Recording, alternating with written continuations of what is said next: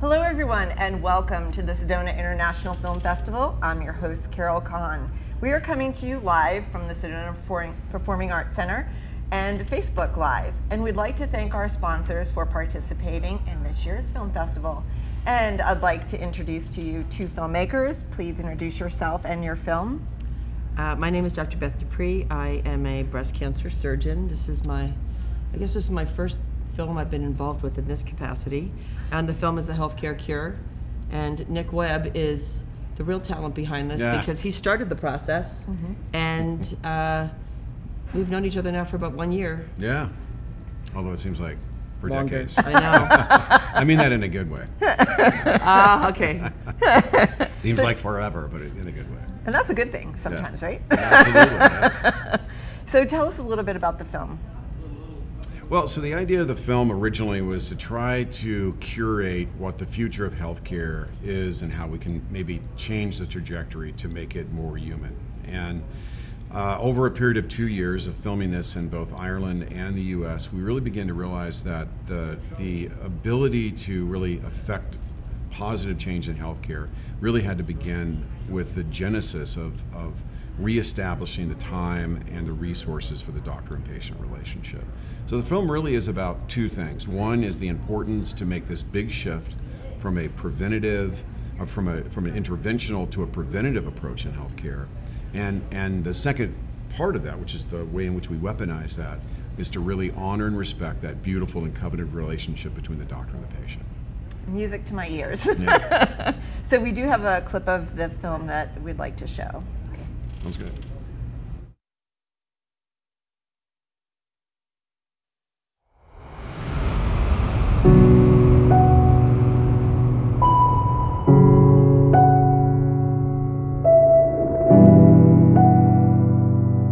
You know, I'd like to make a pretty bold proclamation here today, and that is healthcare is really sick.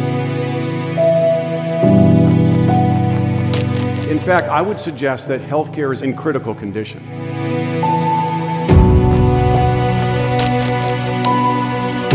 For a lot of doctors, they forget it and they miss it. And for patients,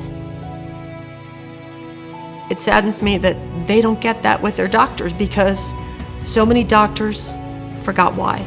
I had the opportunity to travel to Dublin, Ireland, to share my ideas to the world about all that I knew about how the next bright, shiny object was going to really solve all the problems. And at the end of that presentation in Dublin, Ireland, I met Dr. Power. He came up and interrupted a dialogue I was having with 15 people and just said, Nick, Nick, it's about the patient. Yeah, it's very interesting in medicine that um, you could describe as there being both an IQ piece and an EQ piece. There's a scientific piece and there's an artistic piece. It's really interesting when you're trying to get into med school in the first place. It's pretty much that they're talking about IQ. And how ironic that 2015, diagnosed with cancer, major surgery, and every step of the way, more and more treatment, I learned to live. I learned not to take every day for granted. I learned about the healthcare system too. And I learned that it's not an easy place to maneuver and that there's a better way to deliver healthcare. And if the COVID crisis is the opportunity for us to finally get this right and shift out of a disease treatment model into a disease prevention model, then 2020 will have been worth it.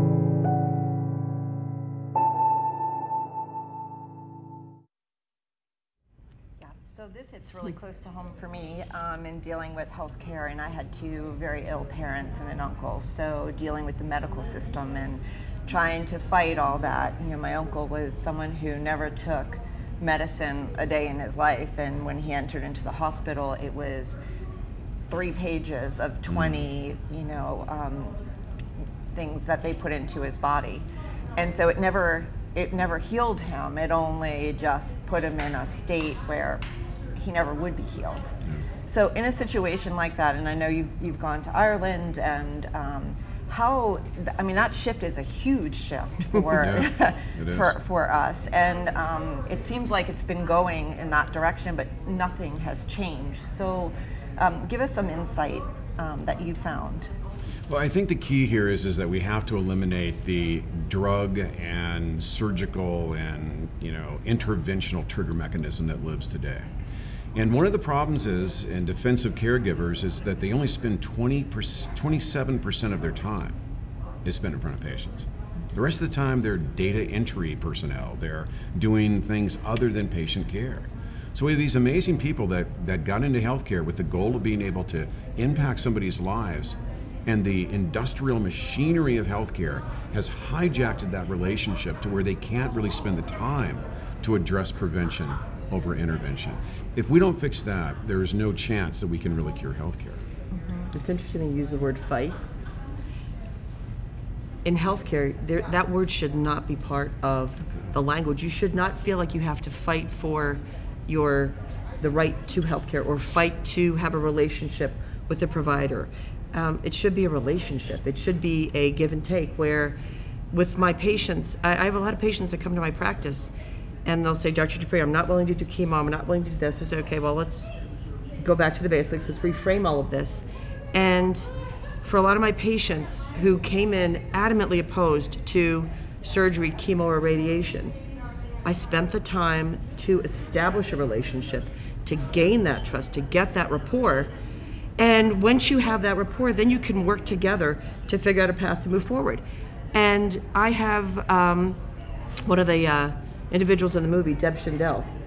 Deb was very integrative. She was absolutely diametrically opposed to chemo, surgery, and radiation at first. When she learned about the particular type of cancer she had, and I wasn't her treating physician, she was treated um, out of state. When she worked with that doctor to explain to her that your triple negative breast cancer needs the big gun chemo. Your triple negative breast cancer needs to get radiation therapy after that area is removed. Well, she did the surgery, chemo, and radiation, had a complete response to the therapy, but in addition, she changed her diet, changed her stress levels, um, went to a deprivation tank and, and soaked in a, in a mineral bath every single day of her treatment. Those were not things that her doctor told her to do, those are things that she as a nurse practitioner, as someone who absolutely understood that the physical component of treating her cancer was one thing and the healing component of what she needed was another. And I often talk about medicine as the right hand and the left hand. If all we have is right handed Western medicine, treatment, drugs, interventions, and we've got two right hands, they don't work really well together. When you look at the left hand as the opportunity to shift in, you know, I call it the soil and seed, and I, I, I didn't invent that. I, that was from somebody's article. If we just continue to treat the seed that was planted in a body that became a cancer, and we do nothing about the soil, that soil is still going to be able to potentially propagate another seed. And in Western medicine, we're only taught about how we treat the seed that grows into a cancer.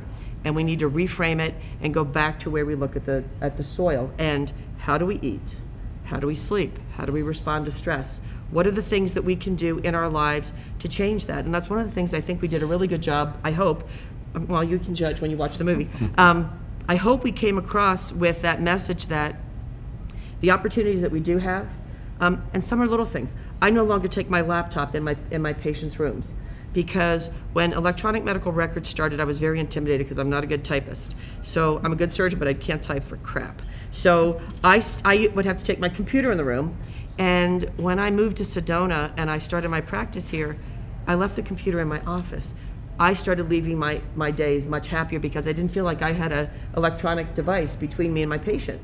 And as good as electronic medical records are for the proposed purpose, it's taken an energy field between a patient and a doctor and put that screen right up between them. And I think that's a barrier. And so that's a simple thing. How do we get out of that now? Can we let the doctors not have the computers in the room? Or can we encourage them to say, how do you reframe this and look at this differently? Yeah, so um, I could sit here and talk to you for hours about about this subject. I live here, so it's okay. Okay, we'll get together, and maybe I could help in some way. I don't know. but how can people find out about the film? Uh, we have a website, which is not surprisingly, thehealthcarecure.com. Okay, and is the film being shown again here in Sedona? Yeah, we have a showing tomorrow. 10 a.m. Yeah, 10 a.m. Awesome. Yeah. Awesome. Okay. Well, thank you both for being here. Thank you for bringing this to the attention of the public. I am behind you 150%. Thank so you. I would love to see um, things change Yeah. in our health system. We're starting. We started the conversation. Yep. And that's where it all Yep. happens, right? well, thank you both You for bet. being Thank you for here. having us. Thanks for having sure. us. And we'll be back with more from the Sedona International Film Festival after this.